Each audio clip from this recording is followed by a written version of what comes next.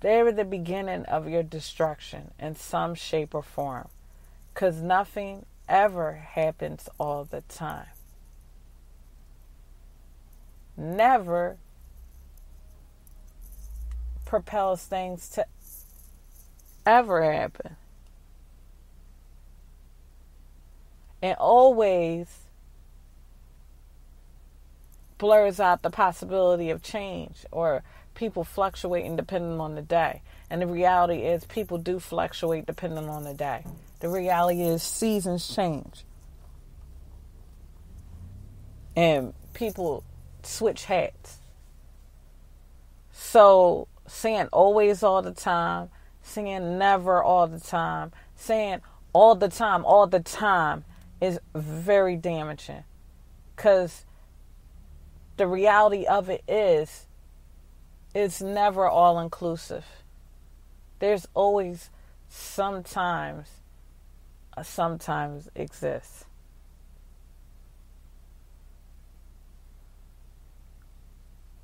It's not real. It's not reality. saying always. Or you never. You sure about that?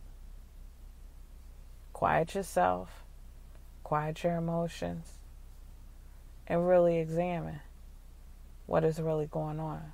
Because 20 times out of 20, there are times when other things do occur.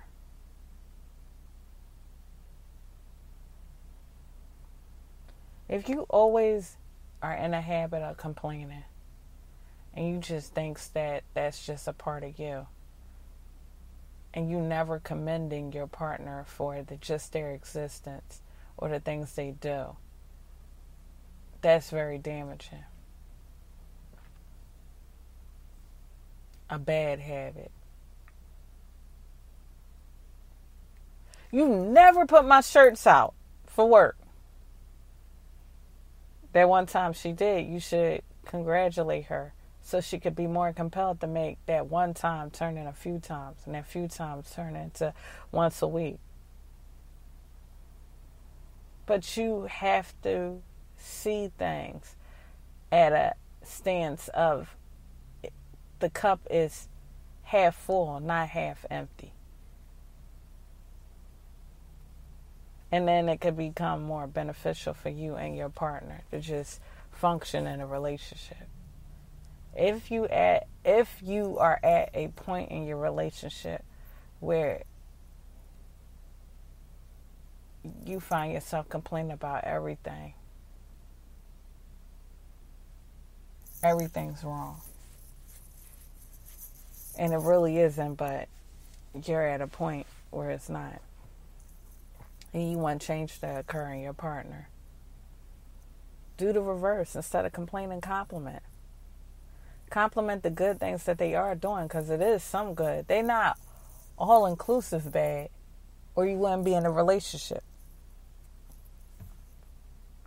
Compliment those good things, those those small things that they are doing good, those things that are not as frequent that they are doing good, and watch things propel in a direction that's more beneficial. I even challenge you to spend at least 30 days just complimenting Every time you get a moment to complain, just stop yourself. Catch yourself and don't complain. And find something good to say. Put that positive energy in the atmosphere. And see how beneficial it is. Might not feel good, might not feel right. Especially if you operate out of the thoughts, oh, I just got to keep it real all the time. Well, the reality is, no one's 100% bad. There is some good in everybody. So why not highlight the good so the good can get bigger and they can get better? Take your focus off of the things you can complain about because there's always, always room for complaining. But find time in your relationship to compliment, to say what is working, what is doing well with, by you. And watch things change for the better.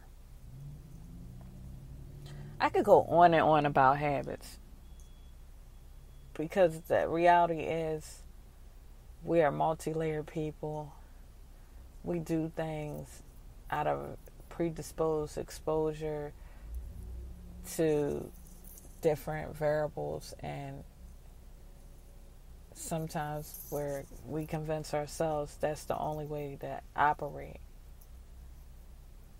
However, it's not. There's always an alternative. There's always room for change.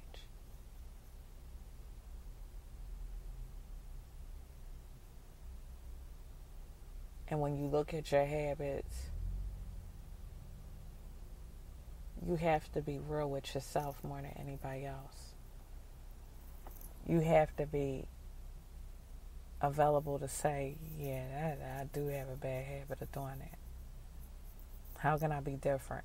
Even if it feels comfortable. Because sometimes the bad things that we do feel comfortable because we've been doing it so long. But that don't mean it, it justifies the reason they're doing it. No, change that. Change that. A booster don't always have to be a booster. A liar don't always have to be a liar. Change that. Change those bad habits so you can be better in your relationships. Not perfect, because you'll never, never reach a point of perfection. But just be better in your relationship. That's the key thing. That is the key thing. And I always send that message because even with therapy, life coaching, image coaching, it's only taken on to make yourself better. It's not taken on so you can be perfect because no one will be perfect. It's only taken on so you can be better. And when you know that, you find it ever more beneficial to have in your life. Because it doesn't hurt to have an extra pair of eyes. Another set of eyes to just say, okay, this is what's going on. This what can be right. This can go right. It doesn't hurt because sometimes you get too involved with your situations that you need somebody outside looking in to say something. So I encourage you to work on your habits in your personal and professional life just so you can be better. This concludes the series on habits.